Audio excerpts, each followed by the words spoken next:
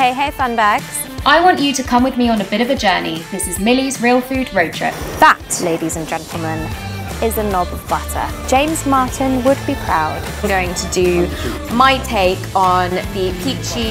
From being shown the ropes and making some real pasta in an Italian kitchen, alle vongole. but the bird, the molto bird, facile, bibi di bobby. So, to cooking up alongside of the road in the Alps. Mm. I mean, look, look at this. And join me as I visit friends in the south of France.